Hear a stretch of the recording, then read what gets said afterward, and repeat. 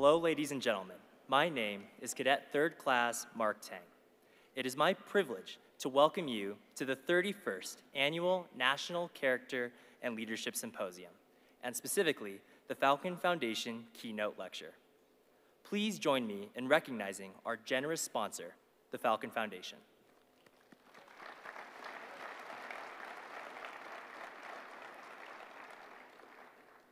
Our honored guest speaker for this afternoon's keynote session is Mr. Scott Kirby. Scott Kirby is the Chief Executive Officer of United Airlines and a renowned graduate of the U.S. Air Force Academy class of 1989. He has had over three decades of experience in the airline industry. He assumed the role of CEO in 2020 amid the unprecedented challenges posed by the COVID 19 pandemic. Under his leadership, United Airlines made strategic investments to execute the company's vision, including a United Next Growth Plan, a commitment to be 100% green by 2050 without relying on traditional carbon offsets. United Airlines' plan also includes initiatives focusing on diversity, equity, and inclusion, such as the opening of the United Aviate Academy. This initiative aims to train approximately 5,000 new pilots by 2030, with the goal of at least half being women or people of color. Prior to United Airlines, Kirby's 30 year career in aviation included time at US Airways and American Airlines, where he also served in presidential roles. He is data driven, focused on strategy, and motivated by culture and people. Kirby is a well known industry veteran who can navigate uncertain times and has a bold vision for establishing United Airlines as a top airline in the history of aviation. Ladies and gentlemen, please join me in welcoming Mr. Scott Kirby and our cadet moderator, Cadet Second Class Weiss Yuan. Thank you.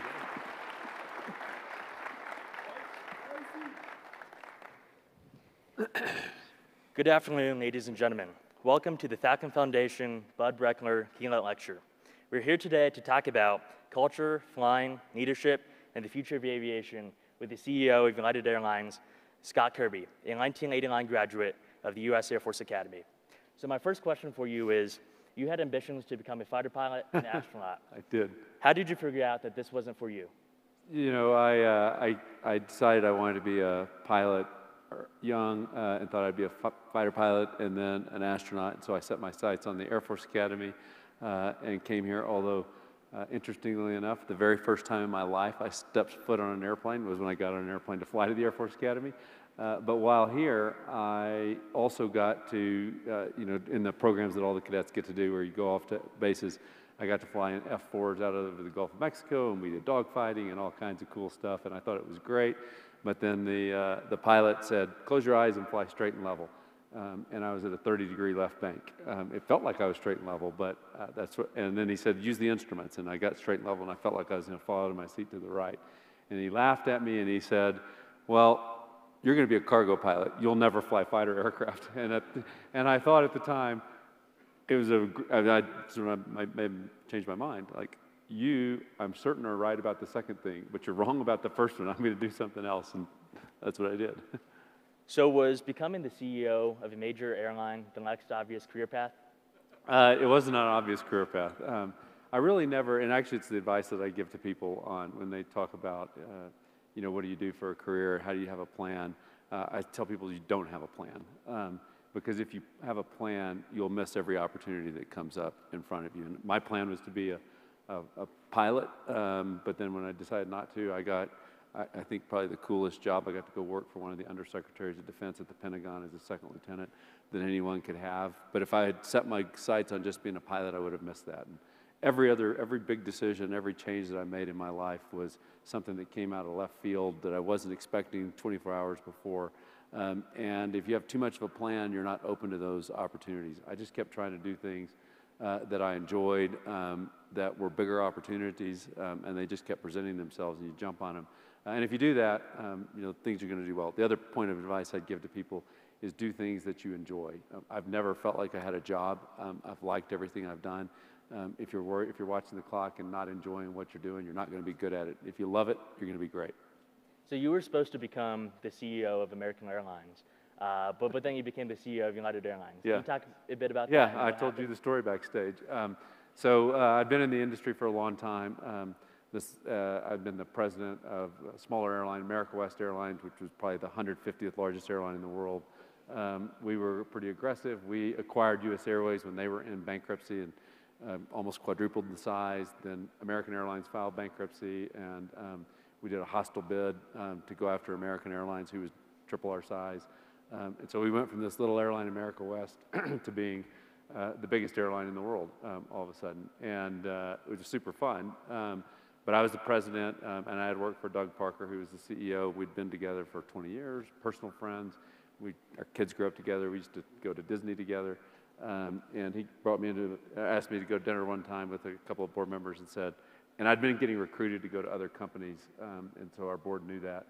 Uh, and they didn't want me to leave, and so they said, Doug has agreed he'll retire on this date, um, and all we ask from you is a commitment that you'll stay until then. And if you say yes, then we'll make you the CEO on this date. And I, of course, said I'm honored, um, and yes, I'll do it. Um, and uh, and th- but and three months later, um, Doug, who was my boss and had been my friend for 20 something years, walked in and said, he was reading, his hands were shaking, and he was reading the piece of paper, and the, the, what he read said, uh, "I've changed my mind. I don't want to retire, um, and because of that, uh, you and I can't work together anymore." Um, he didn't actually say you're fired, but that's what it meant. um, and uh, 29 days later, I was uh, president of United Airlines, and uh, with a plan to be the CEO. And um, it's another one of those, you know, it came completely out of left field. Uh, it wasn't what I was expecting. Uh, but if you bounce back quick, um, you can have great opportunities. And it's turned out to be one of the best things that ever happened to me because I'm having a blast at United. So I want to talk a bit about the, the airline industry. It's been more than 100 years since the first commercial flight. Where do you see the future of the airline industry? And do you ever see commercial super, supersonic flight coming back? Um, so I, I think, uh, you know, it, in, in a lot of ways, it's going to continue to evolve as opposed to revolutionize, um, unless somebody invents a transporter, uh, which I hope they don't, because we'll be in trouble if they do. Um, but uh, for, for things like supersonic, um, obviously the technology exists. Um, United Airlines has lost a launch customer for supersonic aircraft with, with Boom. The question is, can they make it work economically? The technology, you know, we've been building supersonic aircraft for 60 or more, you know, all the way back to the 40s for almost 80 years now. So we know how to fly supersonic, but can you make it work economically? And that's an open question. Um, if it happens, United will be the first airline uh, to, to fly the airplanes. Uh, we're also, it's fun because we're getting to be kind of on the ground floor, helping design the airplane, build the airplane, um, if, it, if it's going to happen. Um, I will say the company's called Boom um, Supersonic. Some of you probably follow it and know something about it. Um, they have great engineers. The first time I met Blake, who's their CEO, um, we'd done a bunch of engineering vetting and um, thought the airplane made sense. And I told him, you need some help with marketing. And he said, what do you mean? Like, you can't call an airplane company boom. And he's like, no, no, you understand, sonic boom. I'm like, I get it, Blake, but you don't call airplanes boom. um, but anyway, we'll see if it, if it happens. What I will think is, what I do think is going to happen um, is um, uh, United Airlines is going to be, uh, well, we're already the biggest airline in the world, but we're going to be the best. We're going to be something that is different than has ever, um, uh, that has ever existed in commercial aviation. You know, you mentioned it, United Next Order. We now have 800 aircraft uh, on order. We're the most any airline in history has grown It was Ryanair once added 52 net new airplanes in a single year, um, even with the travails that are happening at Boeing, which are disappointing. Uh, but even with that, we're going to be we're doing 100 to 120 narrow bodies a year, and at the end of this year, we'll start taking two wide bodies a month. So, kind of double the rate that double the rate of narrow bodies that any other airline has ever done, and double the rate of wide bodies all at the same time. So we've How many seen- of you have parents that work for you, that are pilots for United? I see a few- several of you. Hopefully they love it.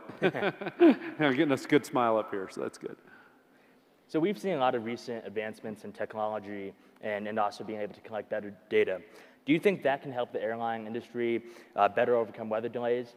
Yeah. Or do you think climate change will worsen weather delays in the future? Both. That's not an or. Um, we, we can already see the impact of, of climate change. Um, there's, you know, it, it's, it's simple thermodynamics. All of you have to take thermo, I guess, still. Um, you put more heat and you put more energy in the atmosphere, um, and there's going to be more weather, particularly thunderstorms. Um, and, uh, and we see that uh, all the time. It, it's interesting, though, we've gotten much more precise at weather forecasting, uh, particularly for winter weather. You know, we know, we can usually know where the snow line or the freezing line is, you know, within half a mile. Um, it's really hard when that is right on the airport because the difference of people that fly will know, you know, between 32 and a half degrees, 32 degrees, and 31 and a half degrees is monumental in terms of your ability to operate an airline. Uh, but we've gotten good at that, but we're not good at forecasting thunderstorms. They're, you know, they're much more random. Um, and so I, I, I think data um, is less is going to be less impactful on on meteorolo- meteorological um, conditions on a micro level, um, probably be good on a macro level. Um, but there's a lot that's happening with data and data science um, around knowing the air. We have so much information on airplanes um, that we're just swimming in data. Uh, a lot of signal, not, not, not a lot of noise, a lot of data, a lot of noise, not enough signal yet. Uh, but we're getting better at, at parsing through that to, to anticipate when an airplane is going to have an issue. So one of the biggest changes you made at, a, at United Airlines is the culture. Can you talk a bit about the importance of culture in large organizations like United? Yeah. And also, what are some of the changes you've made uh, in in regards to United's culture? You know, I'll, I'll take one step back. I think people often confuse leadership and management. Management is about compliance. It's about the checklist. It's about did you show up on time? Did you do everything that you're supposed to do? Leadership is about inspiration and vision. Uh, leaders get people to want, to want to be great, um, to want to do great things, um, and that's the only way that you can can make organizations great. And another way of saying that leadership is culture. Um, and I think the job of a leader, the job of a CEO, um, the, in, the, in the military, the job of you know a, a wing commander, you know anyone that's leading is to in, is to figure out what the vision and the inspiration that you want people to have. Um, and when I became CEO, I thought this, and now I say it all the time, I, I, and I believe it. I have the easiest job of anyone at United Airlines because I really only have one responsibility, and that is to make our employees proud. Because if they are proud of the airline, then they take care of everything else. They want their fellow employees to feel that way. They want customers to feel that way. And it's so simple. Um, and it's, it, it's great to see that it's working. Um, you know, I spent the morning up. I spend at least, a, you know, I go up every month to TK. Our training center here in Denver. The biggest training center in the world uh, is in Denver uh, for all of our pilots. And, you know, I can see several hundred of them every time I go. Uh, I do the same thing in Houston where we do, we have 5,000 flight attendants a year go through that facility. And so I can see several hundred every time I go. Um, but it's just, it's inspirational to me also to see how they feel. And my guess is if you find some of the people that raise their hands and have you know, parents that fly for United, they can tell you the same thing. Um, people believe in what we're doing, they believe in the vision, they're proud, they want their friends and neighbors to know that they uh, fly for United. Uh, and when that happens, it's just magic, um, and you're on this flywheel. Uh, but culture is the key, um, and focusing on culture. And it's easy to say, maybe it's harder to do. I was at, a, at an event with kind of 100 um, Fortune 500 CEOs, and I said the same thing that all I said to them, all of, we have the easiest job of anyone at our companies because our only job is culture. Um, and afterwards, we had a, a dinner at, at the French Laundry, and I had at least 12 of them come up to me and say, you know, you're right about culture, but it's really hard. and so I started finally saying, well, I didn't mean to insult you, but, um, but culture really is what drives everything in an organization. So there's been a significant demand of pilots due to a pilot shortage. Yeah. What is United doing to retain pilots and also attract new talent? Yeah, so first at United, we're at the top of the pyramid for pilots, uh, for commercial pilot. So we on our own don't really have uh, uh, challenge hiring pilots. Um, regional carriers, smaller carriers do have a challenge, but you know we have a list that's in the tens of thousands um, of pilots who, at our at our standards, that we could hire. Um, that said, um, there is a pilot shortage in the country, um, and I, I think this is true of all corporate leaders. Um, we have we have a bigger obligation than just our companies. Um, we have a society, to the country, um, and I very very much uh, believe that. Um, I've also, uh, from the time I uh, got into commercial aviation, wanted to do uh, something to change how what it takes to become a pilot. Most of our pilots are military. Um, historically, the majority were military. Uh, but if you're not military, particularly with the training requirements, 1,500 hour rules, it's really you got to be wealthy almost um, to get enough hours to become a pilot. It's really hard as a civilian uh, to get enough hours. What that has meant is those barriers to entry mean that 82% of the pilots in the country today are white men. Um, only 18% are women or people of color. And it's not that other people don't have the ability, uh, it's that they don't have the opportunity. Um, and, I, and you also go to these civilian flight schools where they're kind of minimum cost, as many, you know, do the least that you can, um, spend the least that you can, get through the program, skate through your certifications. Um, and so I've always wanted to create something that was better training, more akin to UPT um, than a traditional flight school, um, and, and that gave more people opportunity. And so we've created a program called Aviate Academy. Um, even though we don't have to do it, we take 500 people a year. Uh, by the way, we take fewer than 1% of the applicants uh, because it's such a great career. Um, we're overwhelmed with applicants uh, at that facility. They go to uh, Goodyear, Arizona. Um, we have a flight school there. It used to be the German Air Force, where the German Air Force trained people. Um, we bought it, but it has dorms and you know a, a little um, place to you know cafeteria where we run it at cost. So like your burger is like two bucks. They live in the dorms. You know, they're two minutes walk to dispatch. You know, they do their first when they do their first solo, they get thrown in the swimming pool. You know, it, it's it's a cultural thing.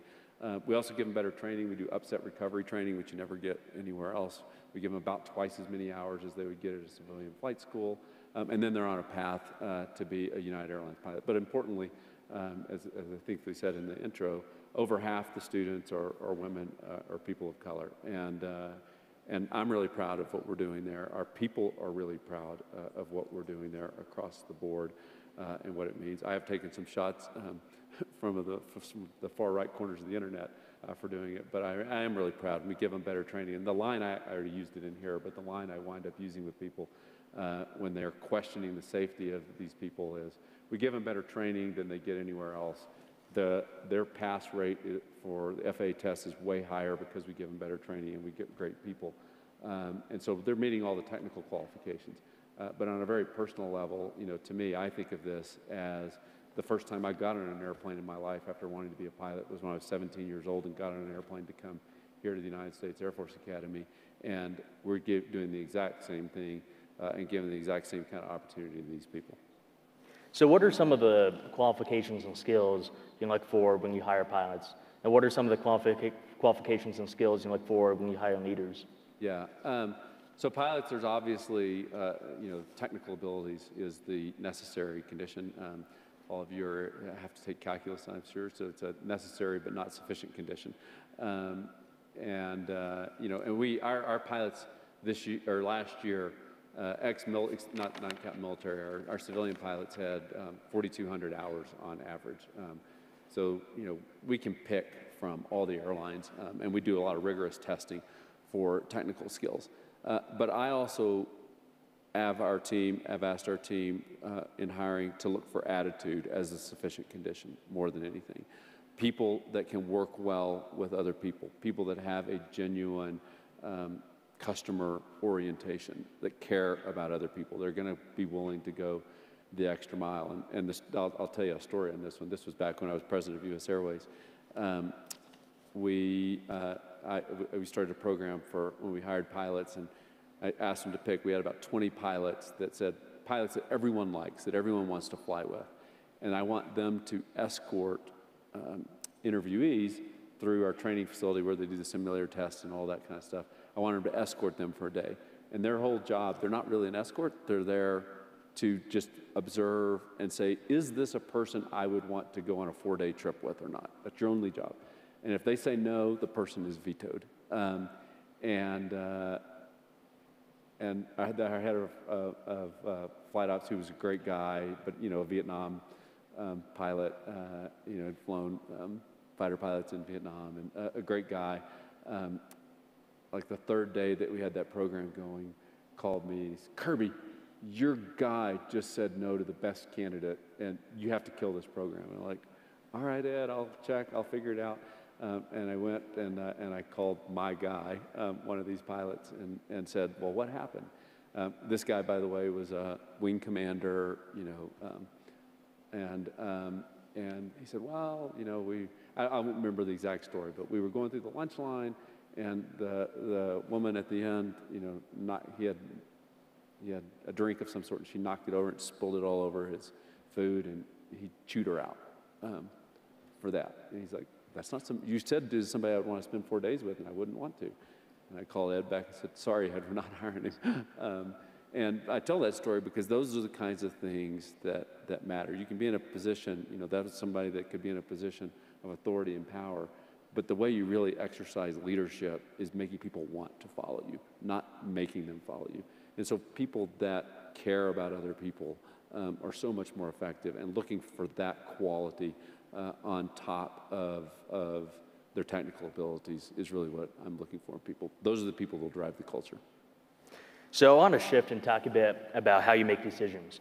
Uh, you, your time as CEO of United Airlines began as the COVID-19 pandemic, pandemic hit, and you went against what was considered the industry norm.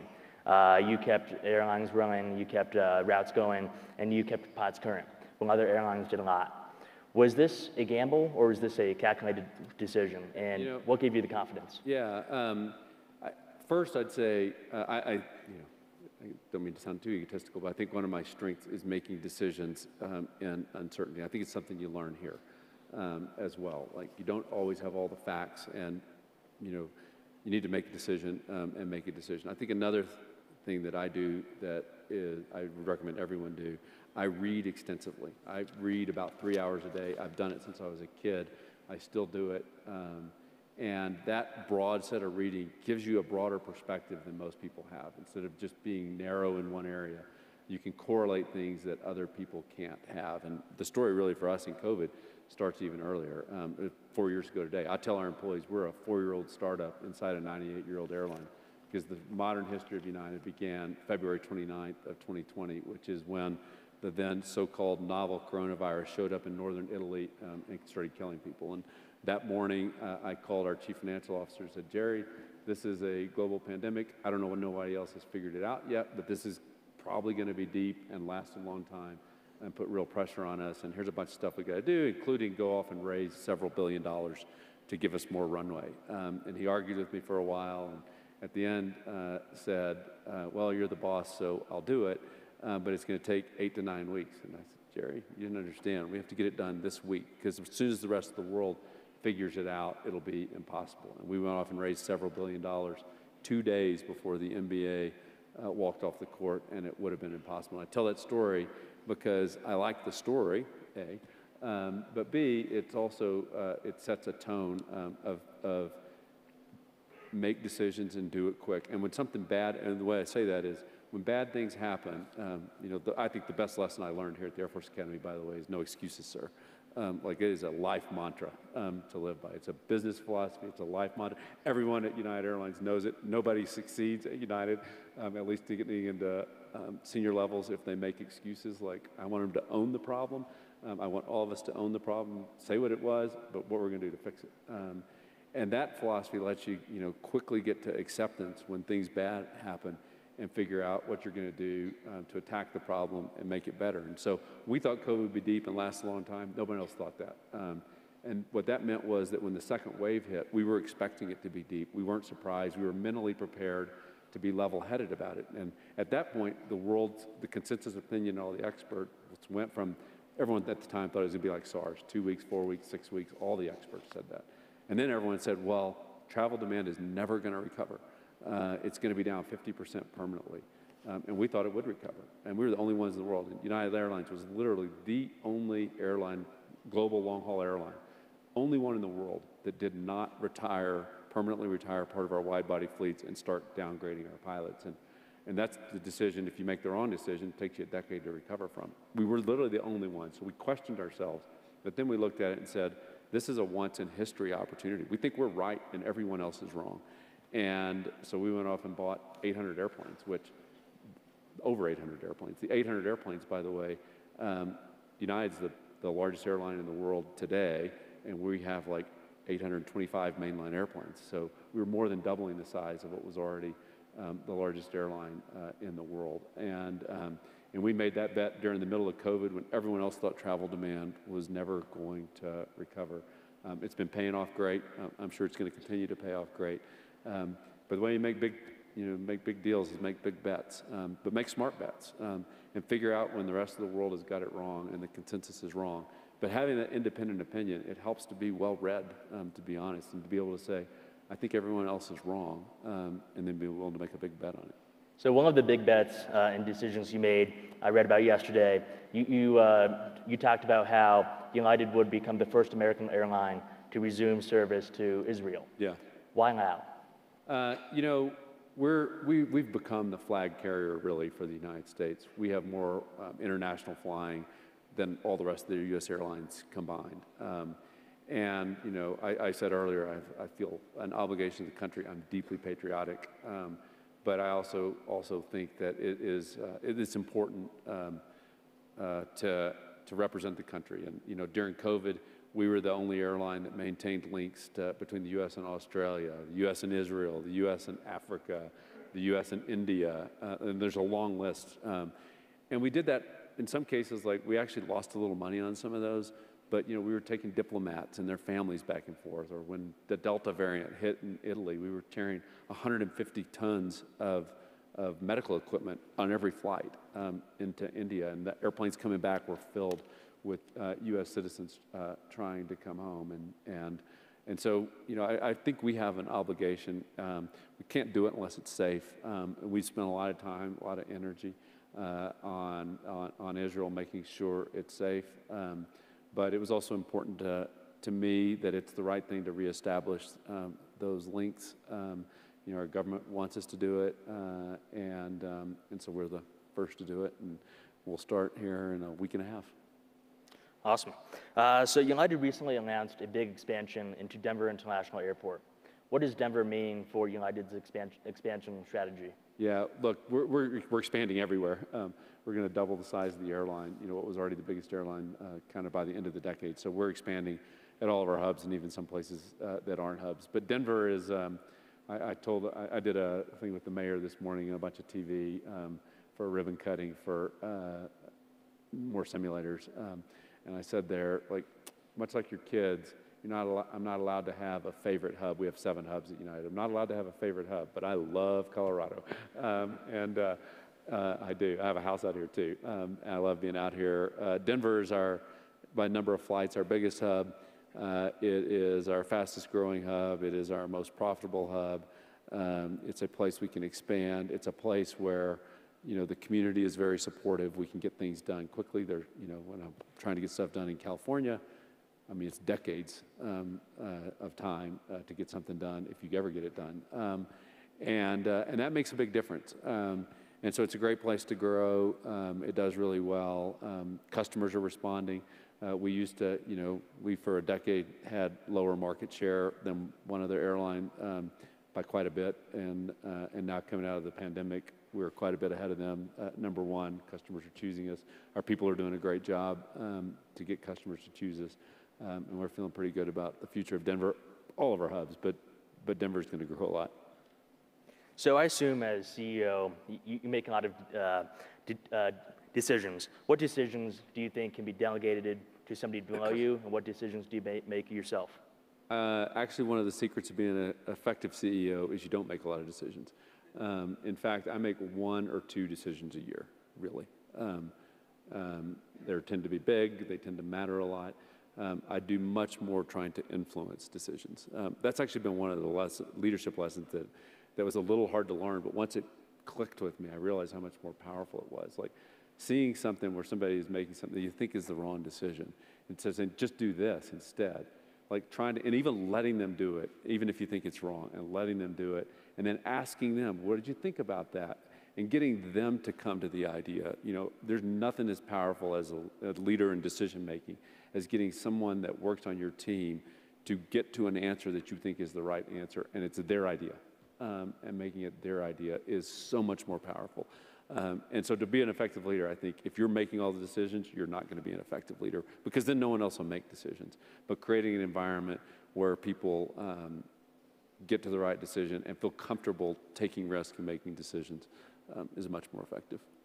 So you've been known to be a good blackjack and poker player. Yeah. uh, it's been said that you should always split aces and eights, and the math the math supports this. It does. When you make decisions, do you always follow the math um, in blackjack or in business? Yeah, uh, in blackjack, I always followed the math, um, and I got uh, I got barred at pretty much every casino. In fact, I was back there this weekend. I was for the Super Bowl, and now I play. I've, I've played poker my whole life too, and it's super fun to play at the high stakes poker games where everyone is a professional except for me um, in Vegas. But I was playing at one at the Super Bowl, and they, you know, if you're buying for that amount, they make you give them your ID for tax reasons, and um, and I'm playing poker, and um, somebody comes over and they give you they print up one of the little cards for me, um, and, and- but he said. And Mr. Kirby, we just want to make sure you know you're not allowed to play blackjack in our casino. I'm like, dude, it was 15 years ago, but I'm still not allowed to play blackjack. They still know. Um, but uh, but though but blackjack, you always follow the math. Poker, if you always follow the math, you're in trouble. Um, and in the real world, if you try to always follow the math, you're going to be wrong. Mostly because you don't know the math. Um, and like, I actually, I'm very analytical. I'm good at math. I am very analytical. But I hate spreadsheets because most spreadsheets are a tautology. Um, if, if you don't know what a tautology is, go look it up. But essentially, a tautology is the assumptions that you put into the spreadsheet define the answer that comes out at the bottom of the spreadsheet or the analysis. Um, and so, what you should spend all your time thinking about is the assumptions. Like, what am I assuming? And am I right or wrong on those assumptions? And say, if this is right, if XYZ happened, then this is the outcome. But where you make the mistake is getting the assumptions wrong. Um, and, and that's where people should spend their time. And most decisions in the real world are not mathematical. They cannot be reduced to a mathematical certainty. And if you try, you'll make mistakes um, because your assumptions will be wrong and you won't be able to test the assumptions. And if you don't know where the weaknesses are in the analysis, you're prone to make mistakes. So do you ever make like uh, gut decisions just based off of what you how you feel? Yeah, I, I mean, yes, um, I, I am intuitive. If you take the kind of t- personality testing, um, I'm very much the intuitive type that makes what you call gut decisions. But they're gut decisions based on a lot of data and knowing. Like, I know more factual information about what is happening at United Airlines than anyone. Um, I mean, I know the numbers, I look at the data, I know what's going on. I'm not making individual decisions about it, but all that's informing your opinion so that when the big decisions come up, you can make decisions quickly. I mean, going back to, you know, the pandemic, um, when it started on February 29th, everything I was reading and paying attention to and following was wondering what was going to happen. And so the moment I read that article, I said, this is a global pandemic. Um, and nobody else thought that. Um, but it seemed obvious to me uh, that it was. And, and so it's not really just a gut decision based on how you feel, it's a gut informed by lots of information and data that you just collect until your brain puts the connections together and you need it. So my last question for you is, what advice do you have uh, for cadets as they prepare uh, to enter new leadership roles in the military and beyond? Yeah, um, look, uh, when, I, when I graduated, um, I was one of those that sort of sarcastically, you know, the rearview mirror um, and didn't appreciate uh, how much I'd learned here. Um, it was one of the most impactful things uh, in my life, um, and I uh, owe this place uh, a huge debt of gratitude uh, for what it did. Uh, for me, it gave me discipline um, that I didn't have and otherwise would not have had. Um, you know, it taught me no excuses, sir, which was a great lesson. It taught me the sandwich method. Do you guys still do the sandwich method on feedback? If you're giving somebody negative feedback, tell them something really good, then you give the negative feedback and end with something uh, really good. You guys don't do that anymore. Um, it was, it's a great lesson in life for a bunch of things. When we were cadets, they'd, somebody, co- uh, upper class would come up to yell at you, and he'd say, "Your belt buckle looks good." They'd scream at you, and then they'd laugh, say, "Your shoelaces look good." Um, so they didn't do it the correct way. But if you do it the correct way, it's good. But there's a lot of lessons like that. Uh, that you're learning here, um, and the experience it's, it's so different than what other people are doing at a traditional college. Getting to go out and fly an F4 during the summer, um, you know, getting to go through the ops programs that you do in SERE and Jacks Valley and all the other stuff that you do are creating such unique experiences. Um, and so appreciate them later and realize how it gives you an advantage uh, compared to, to other people. Um, and as you're leading, think of yourselves as, as leaders. That's really the biggest advice. Um, and leaders are about, are about people. Leadership is about people. It's about inspiring people. It's about motivating people. Um, it's, it's not about telling them what to do. Um, if you're having to tell someone what to do, you should consider that a failure. If it gets to the point where you're having to tell someone what to do, um, as opposed to get them to lead themselves um, to the right answer. So think of yourselves as leaders who are about inspiring um, and creating vision for people. I also want to say thank you to all of you that are cadets um, and, uh, and everyone that's in the military uh, in, in a world that is dangerous, and we still see that uh, now, uh, for raising your hands and volunteering uh, to do this, uh, to, to make sacrifices in, in the short term um, and to make potentially larger sacrifices. Um, I, I certainly appreciate it. Most people do. Um, but I also understand what you're doing uh, and applaud you for it and appreciate you very much. So thank you for what you're doing uh, more than anything. And thanks for giving me the opportunity to come and talk to you today.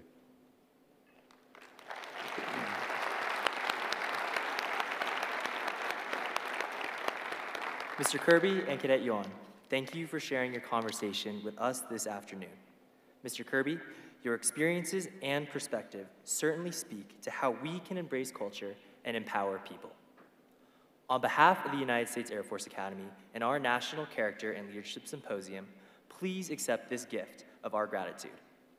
The base of this gift is made from marble from the Terrazzo. As you know, this is foundational to us because all cadets have had to run the marble strips during their hmm. freshman year. We hope this brings back memories of your time at USAFA and that you will It look does. on this and remember your NCLS experience fondly. Thank you. Thank you. Thank you. You're Thank great. you. Thank you. Thank you. Awesome. Okay, yeah. Where's the camera? Oh, right there.